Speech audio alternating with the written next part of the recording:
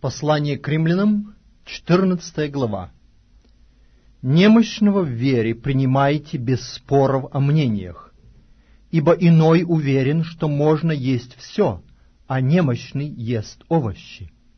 Кто ест, не уничижай того, кто не ест, и кто не ест, не осуждай того, кто ест, потому что Бог принял его. Кто ты, осуждающий чужого раба?» Пред своим Господом стоит он или падает, и будет восставлен, ибо силен Бог восставить его. Иной отличает день от дня, а другой судит о всяком дне равно.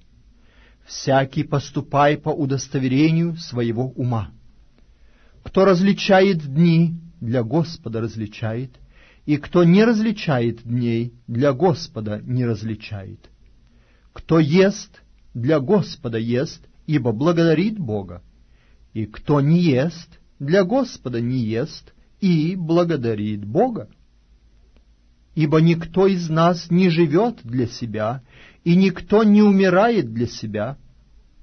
А живем ли, для Господа живем, умираем ли, для Господа умираем, и потому живем ли или умираем, всегда Господни.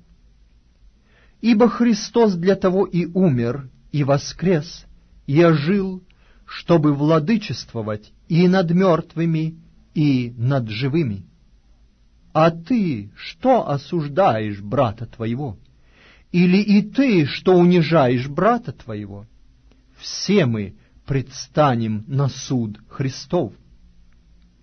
Ибо написано, «Живу я, — говорит Господь, передо мною преклонится всякое колено, и всякий язык будет исповедовать Бога.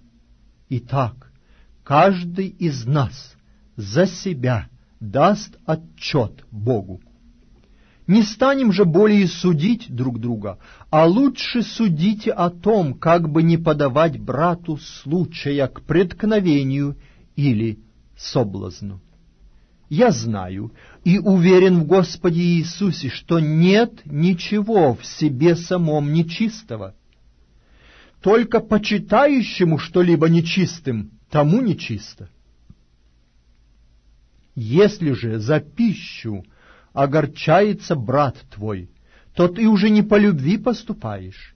Не губи твоею пищей того, за кого Христос умер да не хулится ваше доброе. Ибо Царствие Божие не пища и питье, но праведность и мир и радость во Святом Духе.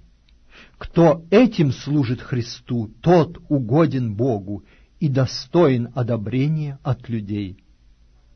Итак, будем искать того, что служит к миру и ко взаимному назиданию ради пищи не разрушай дело Божие. Все чисто, но худо человеку, который ест на соблазн.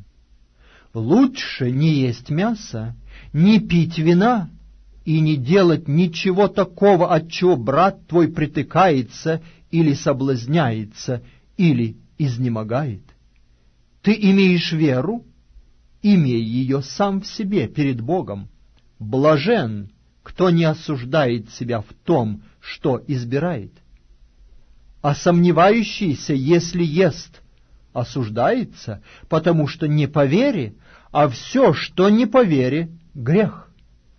Могущему же утвердить вас по благовествованию моему и проповеди Иисуса Христа, по откровению тайны, о которой от вечных времен было умолчено, но которая ныне явлена, и через Писания пророческие по повелению вечного Бога возвещена всем народам для покорения их вере, единому премудрому Богу, через Иисуса Христа, слава во веки. Аминь.